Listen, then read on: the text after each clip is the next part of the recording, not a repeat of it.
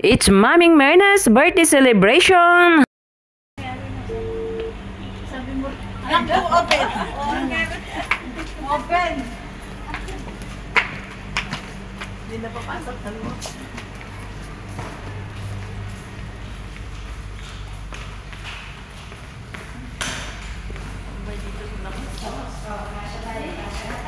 Tara, tara, tara. Bilis, bilis, bilis, bilis, bilis, bilis, bilis. Happy birthday po, Ate Myrna! More blessings and birthdays to come.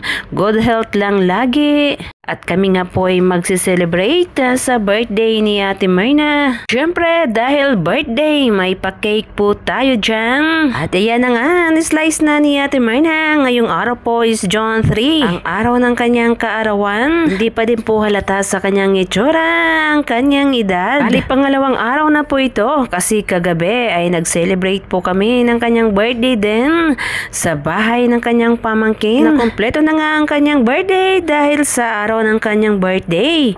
Ayan dyan po ang kanyang ah, pinakamamahal na anak. Maraming salamat sa iyo, Christian. At syempre, todo picture taking muna kami dalawa ni ate dito sa office. Habang wala pa pong tao. Salamat din sa nagbisita. Salamat sa iyo, Miss Christy. Syempre, dahil sa kaarawan ngayon ni ate, hindi mawalang pansit. Meron kami niyan. Maraming salamat din po sa nagbigay sa kanya ng ah, ano na to. Hindi ko kasi alam kung anong tawag dito. Kasarap po niya. Parang carbonara ang lasa. Syempre, masarap din yung cake. Parang may yema. At maraming salamat po Kuya Ed sa pabalon. At syempre sa gift mo kay ate. Sa iyong ah, kapatid. Napasaya mo nga po si ate. Ito nga ang kaganapan kagabi bago ang kaarawan ni ate.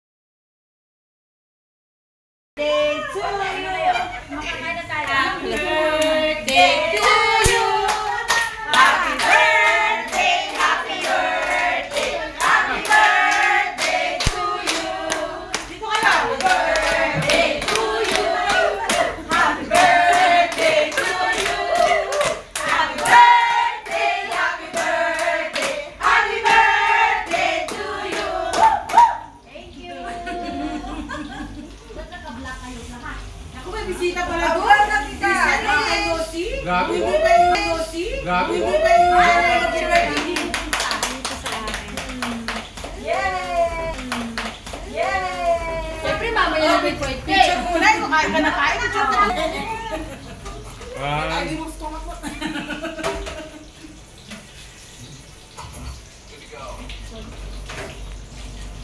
na. Ilan mo kung 100 Wala din siya to Ben, Doy?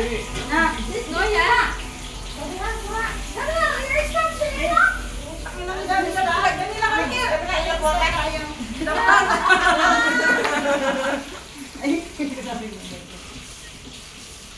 Yan. Let's see the ano.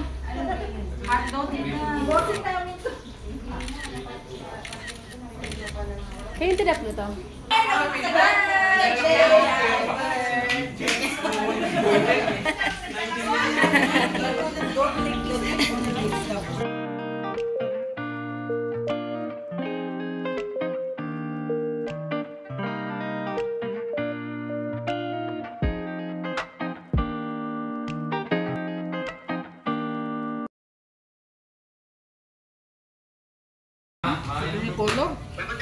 Kaya nga, parang hindi ko may parabo. Eh, kanina kasi hindi pa matigas. Hindi na.